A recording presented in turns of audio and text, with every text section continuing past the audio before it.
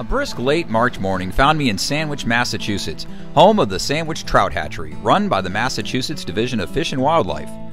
Located on 46 acres of land a few miles south of the Cape Cod Canal, the hatchery has existed on the site since 1860 and was purchased by the state in 1912 for the sum of $9,000. The Sandwich facility is responsible for stocking all of the state managed ponds, lakes, and streams in southeastern Massachusetts, including those on Cape Cod and Martha's Vineyard. The hatchery and its staff are funded by proceeds from the tax on fishing tackle and fishing license sales, and the facility is open to the public. Shortly after my arrival, I met with hatchery manager Craig Ludowski, who told me about the different species raised at the facility. Ladowski. He's the hatchery manager here at the Sandwich Trout Hatchery in Sandwich, Massachusetts on Cape Cod.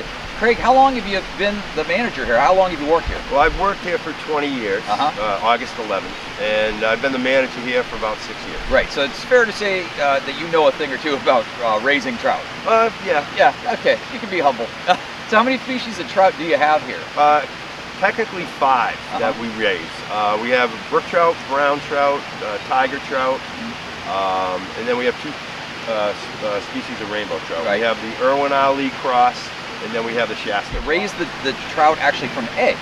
Yes, You raise them from eggs until they're, how, how big uh, do they get before you stock them? uh, 14 to 16 inches. Uh-huh, and you do this twice a year, you were telling me earlier? Yes, Yeah. we do. Um, we have a, a spring stocking, which we will go till probably uh, it started two weeks ago. It will uh, go to May, Mm-hmm. and then we have the fall stocking, which is right around October 1st. Great, great, excellent. Well, let's take a little look around the facility and look at the various uh, stages of uh, trout growing, and um, and then we're going to go and stock a pond.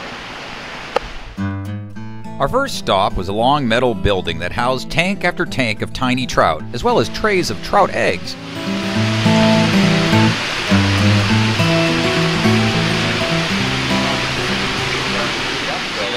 Eggs here. These Yes. the actual eggs. Well, where do you get the eggs from? We get them from White Sulphur Springs, West Virginia, the federal government. Okay, yeah. And so how, how many how many thousands of eggs? Are Well, we have little- 50,000 we got uh, Yeah. uh, shipped to us on last Thursday. Okay, right. So now, what do you have to do to manage these eggs? How do you, how All do you start them? What do you do? Well, what we have to do every day, we have to go through and pick any white eggs. Okay. The white eggs are dead eggs. uh huh. And what will happen is saprolegnia fungus will, um, this is how we do it, So fungus will grow from Yeah. those dead eggs. on and then infect all the other eggs. Oh, so you have to siphon them up one by one. One by one. That sounds like an interesting fun It's task. a lot.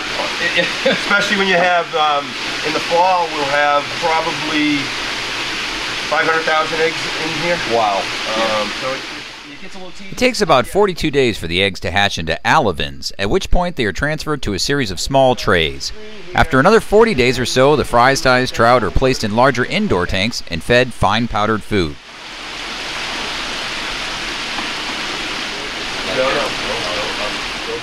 After six months, or when the trout reach approximately 3 inches in length, they're transferred to the outdoor pens, which are covered by nets to keep out predators. Um, these are Shasta rainbow trout. Um, they're about seven inches long. We should get them up to about 14 inches long uh, by the fall uh, when we, we split the densities down. Um, we normally will put out 12,000, 10 or 12,000 fish. Twice a year, the hatchery staff removes the mature trout from the pens and loads them onto a truck, which makes the rounds to various ponds and lakes around the southeastern part of the state. By five, divided by 12. off of 1.7. Which one? So these particular ones we're doing right now I watched as hatchery technician Greg McSherry scooped up netfuls of the wriggling trout, weighed them, and handed them up to Southeast District Fisheries Manager Steve Hurley, who loaded them into metal tanks on the stocking truck.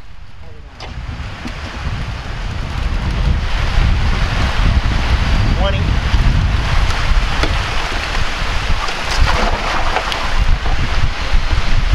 Well, Greg, we got the truck loaded full of trout.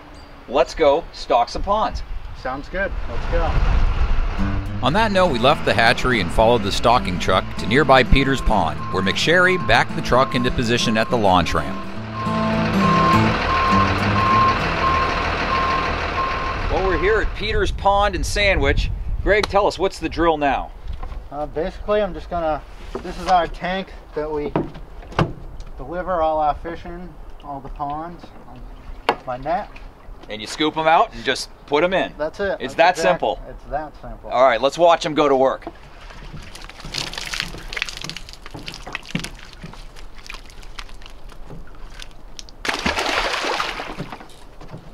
Boy, you'd think that they uh, wouldn't be able to take such abusive treatment, but they're pretty hardy, aren't they? They're extremely hardy. These are the tigers here.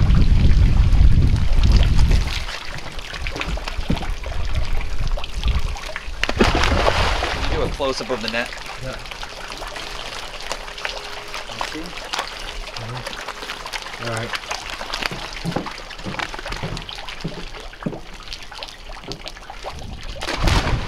All the commotion quickly drew the attention of local anglers who came over to check us out. Well, I'm here with Roland Stewart. Roland, you saw the truck pull up. I noticed you came over. It's like a feeding frenzy. It, it attracted you. I, I guess the I guess the trout fishing is going to get a lot better for you uh, in the next It's- couple of weeks. it's always fun to see them put in. Yeah, You yeah, know, see what size they are, what breed of trout they are. Uh-huh. That's a lot of fun. yeah. I'm sure. You know, I won't fish for these fish. uh-huh. You know, we'll you know we'll give them some time, Yep. but uh, it's just fun to know what's going on, and uh, Yeah. you can pass on the knowledge to the other fishermen too. Yep. Over what they put in today and how many, and Yeah. uh, the, today they're putting in some uh, tiger trout, which is we don't get too many of those. Yeah. Have you caught those before here? Yes. Yeah. Yep. Good fight.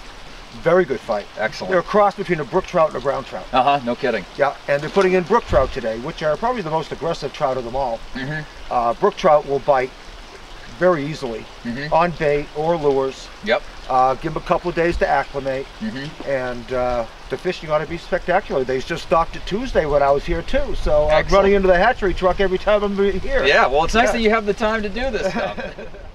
The efforts of Ladowski, McSherry, and the rest of the hatchery staff are clearly appreciated by the fishing public, who are welcome to stop by the hatchery and check out the fish. We should point out that the general public is welcome to come down here to the fish hatchery. It's located right off Route 6A in Sandwich. Bring the family for a picnic lunch on a nice day and definitely bring the kids because they have a fish food dispenser and you get to feed the fish.